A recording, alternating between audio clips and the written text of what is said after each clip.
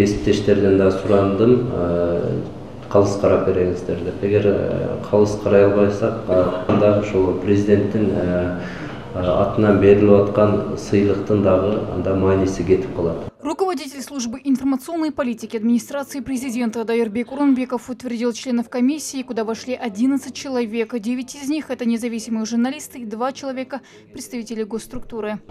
Конкурстук материалдар мамлекеттик же расмий тилдерде кабыл алынат. По словам Урунбекова, призовой фонд превышает 10 миллионов суммов. Победители в каждой из 10 номинаций получат по миллиону. В ходе встречи с журналистами также было отмечено, что согласно положению о премии МИКИН, кыргызстанцы имеют право подать заявки не более чем по трем номинациям и представить только один материал из цикла работ по одной номинации. Рабочая группа выбрала всего 10 тем. Номинация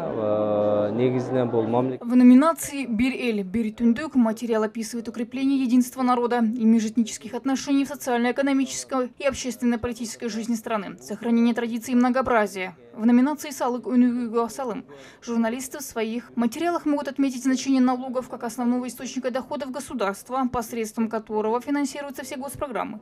Материалы в номинации «Куттуэлиты» должны описывать жизнь людей в регионах, занимающихся сельским хозяйством, рассказывать об успехах, интересных событиях и начинаниях. По мнению журналистов, темы для номинаций в конкурсе были выбраны очень интересные и актуальные. По условиям конкурса хронометраж работ не должен превышать 15 минут.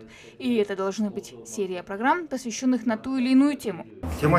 Менче... Я вот ознакомился с номинациями, и мне очень понравились темы. Вот теперь думаю, какую выбрать. Очень отрадно, что организовали такую премию именно для журналистов. Раньше были различные конкурсы, но призовой фонд впервые составляет 10 миллионов суммов.